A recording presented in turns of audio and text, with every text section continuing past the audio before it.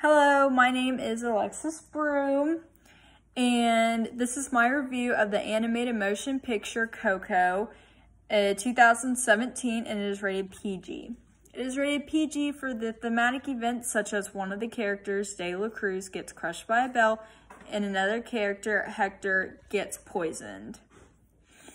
All right, and then this movie is produced by Darla K. Anderson and is directed by Adrian Molina and Lee Unkrich. Rich. Um, list the top actors in the movie and what characters they play. Anthony Gonzalez plays Miguel. He's a little boy that the movie is about. Marco Antonio plays Ernest de la Cruz. He's the man that gets crushed by the bell. He is also the famous singer.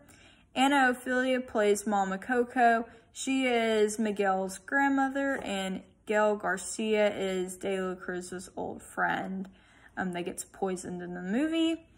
Um, and then a quick plot of the movie is the movie Coco is about a boy named Miguel whose family is against music. His family makes shoes for a living and wants him to make shoes for a living as well. They, his family does not like music. They don't like anything that has to do with music. Um, and so Miguel wants to play in the talent show and he has this guitar and he tries to sneak out to go play while his family is setting up for uh, Day of the Dead. And his family finds out and so they take his guitar and they break it. He tries to go uh, steal La, La Cruz's guitar. His guitar is in the cemetery um, in kind of like this memorial place and he breaks in through the window to get in there and he when he touches the guitar um he kind of turns see-through so you know while people are looking for him they can't see him. So he is in the cemetery with uh, all the other loved ones that are passed on and so they kind of lead him into their world um, where all the other people who have passed on are um, and so he finds his family there and he wants his, he wants his family that has passed on to give him their blessing so he can play music in, um, his world.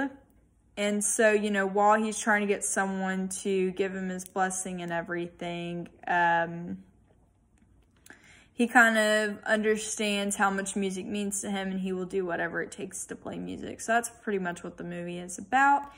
And then what I liked about the movie or a scene that had stayed with me, I absolutely love this movie. I thought it was so cute, the themes that surrounded the movie.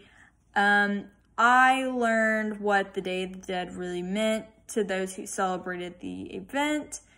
Uh, a scene that almost made me cry is when Miguel came back home and he started playing Remember Me to Mama Coco when all of his family members were sitting around. Um, it was emotional because in the beginning, Mama Coco did not make um, really any expressions. She just kind of sat there lifelessly, um, you know, in her wheelchair and she never said anything. She never made any emotion. So when she started singing Remember Me with Miguel and saying, oh, well, my father saying that to me when I was a little girl, it was really emotional scene. Um, super cute though. It was a really good scene. And then another thing that stuck with me in the movie is when La Cruz, La Cruz had quoted, Never underestimate the power of music. No one was going to hand me my future. It was up for me to reach for my dream, grab it tight, and make it come true. I really like this quote because I can relate to it as a college student. You know, I'm going to college for this dream just like everybody else. And so, um, you know, we're kind of all reaching for our dream, grabbing it tight, and we're going to make it come true. So I really like that quote because of um, that reason. And then, um, did I find any parts of the movie disturbing or that I didn't like? I did not find any parts of the movie disturbing or anything that I didn't like. Other user, other viewers might not like the fact of their kids watching skeletons, but I think of it like an educational movie for people who aren't really educated on Day of the Dead. Um, kids can learn about Day of the Dead, and the movie has a good, clear theme for kids, for dreams, you know. Um, nobody's going to hand you your dream on a silver platter. You need to go out. You need to work hard for it. Nothing, you're, nothing in this life is for free. You're going to have to put in a little work for, you know, what you want to do. So I really like that theme for kids as well. You know, don't just expect people to hand you things on a silver platter. Um, and then I'm going to give my honest opinion on if I would recommend this film and why. I would highly recommend this film to anyone, um, you know, young, older. I thought the movie was cute and it had a good theme to it. Plus, it would, it could educate someone more on the Day of the Dead like it did me at first. I'm not going to lie, I did not want to watch this movie. I love watching Disney movies, but I did not know much about Day of the Dead and I thought I wouldn't get the concept of the movie. At the end, I was very glad that I watched the movie though. It was a very good movie. All right. And then my general thoughts about the about watching um, the movie was oh, watching the movies through the semester. Right. Okay, yes, that's what I'm on. All right. Finally, my general thoughts about uh, my movie watching experience this fall semester and if there's any new movies that I would recommend for us to watch during the break. Um, all of the movies that we have watched this semester, I'm not gonna lie, if I had uh, not been assigned to watch the movies, I would not have watched them. I don't have enough time. I work two jobs. I'm super busy.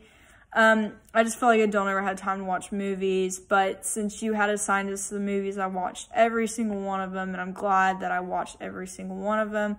Um, I feel like there was a reason that you had um, wanted us to watch every single movie that you did, and I'm glad that I watched them. Either it was a lesson or it had a theme to it that was good. Um, you know, just anything little, big, small in the movies that we could take from it. I'm glad that I watched them. And then some movies that I can recommend over the break would be Elf or National Lampoon's Christmas Vacation since Christmas is coming up. Those are two really good movies to set the mood for Christmas for you or your family. A movie that I would recommend other than a Christmas movie would be The Pursuit of Happiness. It's a good heartfelt movie. It is about a father who is struggling as a single father while looking for a new job when he gets kicked out of his apartment with his son and they live on the street. It's a really good movie. I would highly recommend. Um, and then another good movie, and I'm not a, this is not a movie, it's a show, is Dexter. It's a really good show. If you like mystery, crime, anything like that, it's a super good movie, and I would highly recommend watching it. Um, and this is Alexus Broome signing off. Thank you for having me in your class.